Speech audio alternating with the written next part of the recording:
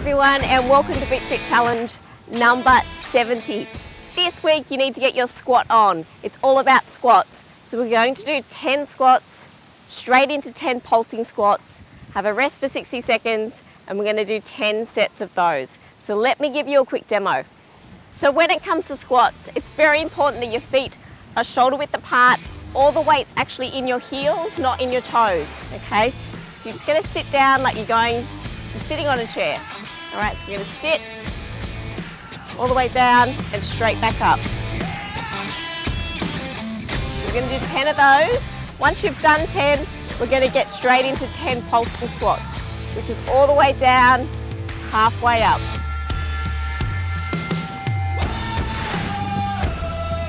So again, so it's 10 squats, straight into 10 pulsing squats, 60 second rest, times 10 sets. So you've got between now and Thursday at 5 p.m. Australian Eastern Standard Time to get this challenge done. And there'll be prizes awarded on Thursday night at 8 o'clock, as usual. So get your squad on, get into this week's challenge, and I can't wait to see your entries.